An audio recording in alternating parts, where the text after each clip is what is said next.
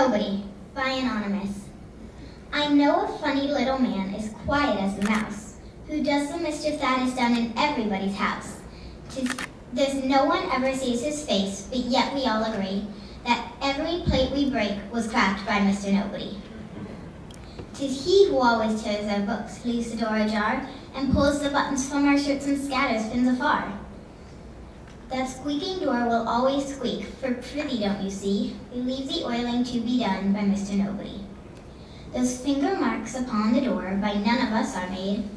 The blinds we never leave unclosed to let the curtains fade. The ink we never spill. Those boots that lying round you see are not our boots. They all belong to Mr. Nobody.